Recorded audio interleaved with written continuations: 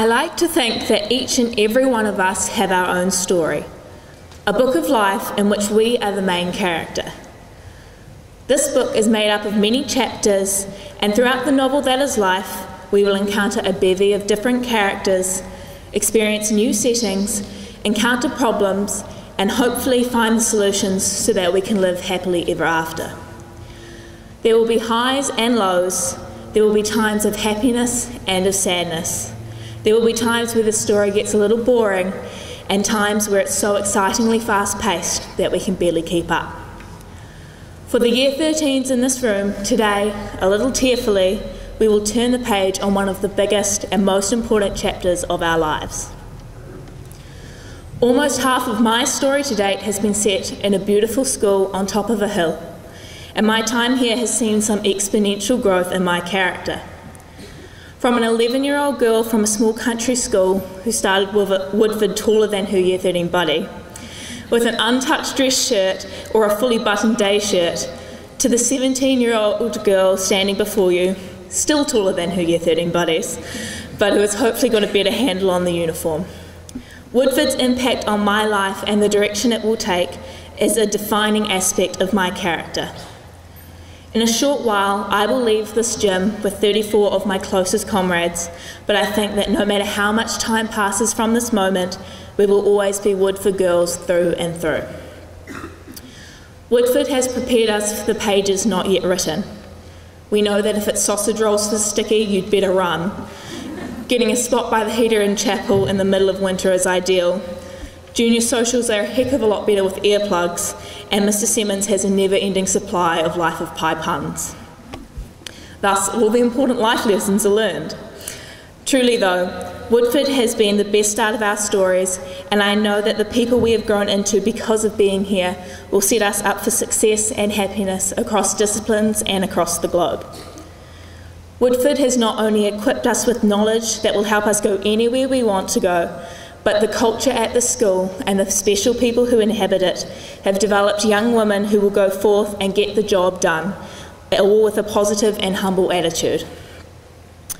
I must use this time to thank some of the characters to whom I owe a lot of my story and personal sanity to.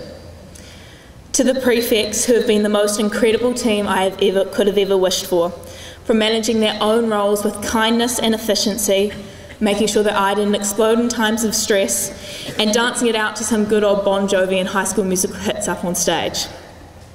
To all of the Year 13s, we're the smallest year group that Woodford's seen in a long while, but you have more than made up for it with your enthusiasm and willingness to help out.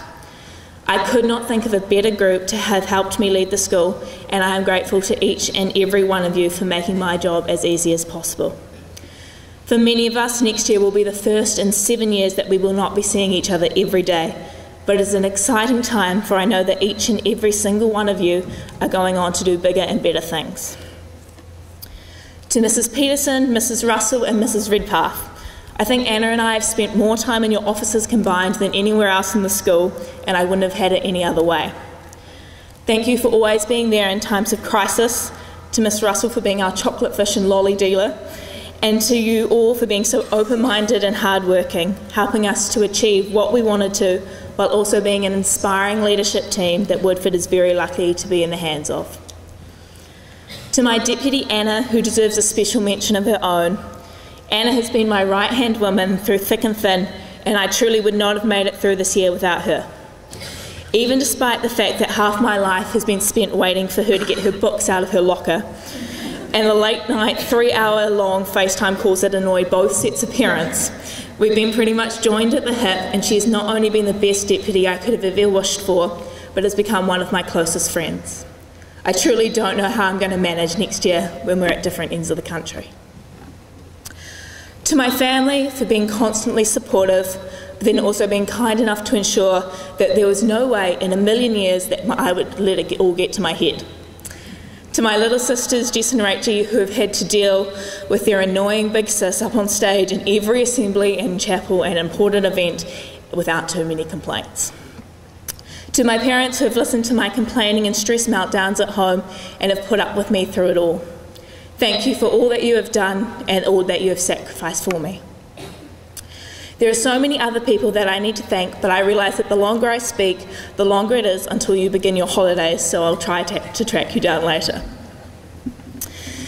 While I've talked about my personal story to date, what I'm trying to get at is that if we've all got a book that represents our journey through life, I think the most important question that we must ask ourselves is not would, would anyone else want to read it, it is whether we ourselves would want to read it.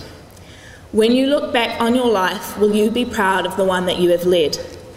I challenge everyone in this room to make your story the most exciting and meaningful one it can be, and not to let anyone else dictate how you live your life.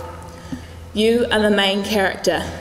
You are as smart, sensible, practical, brave, beautiful, and incredible as you want to be. So make it count and make your story the one that wins the Man Booker Prize, Pulitzer Prize, or the Oscar.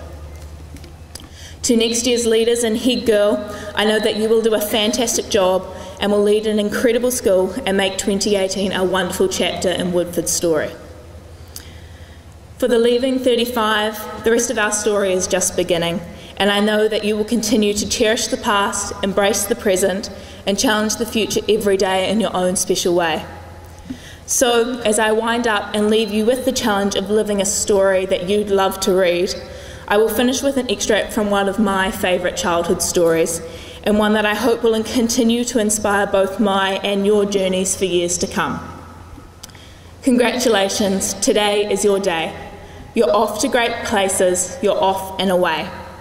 You have brains in your head, you have feet in your shoes, you can steer yourself in whatever direction you choose. You're on your own and you know what you know, and you are the girl who decide where to go. Today is your day, your mountain is waiting, so get on your way.